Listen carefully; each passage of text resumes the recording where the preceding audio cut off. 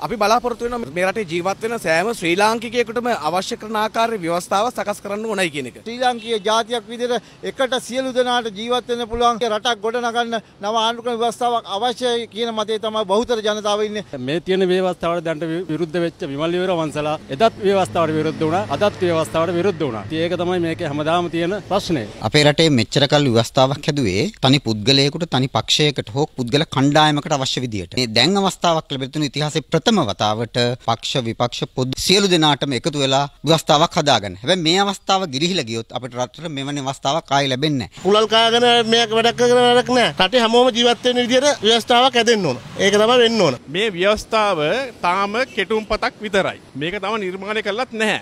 දැන් මොකද මේ කරන්නේ බිල් එක් මවනෝ. අපේ සිංහල ජාතිය ඇවිස්සලා මේ බලය ලබා ගන්න කරන්න හදන්නේ. භාෂාවෙන් ආගමෙන් කුලයෙන් ජාතියෙන් බෙදී වෙන් වෙලා ඉන්නකම් මේ ප්‍රශ්නේ විසඳ ගන්න කවදාවත් අවස්ථාවක් ලැබෙන්නේ නැහැ. එහෙමනම් මේක තමයි අන්තිම අවස්ථාව.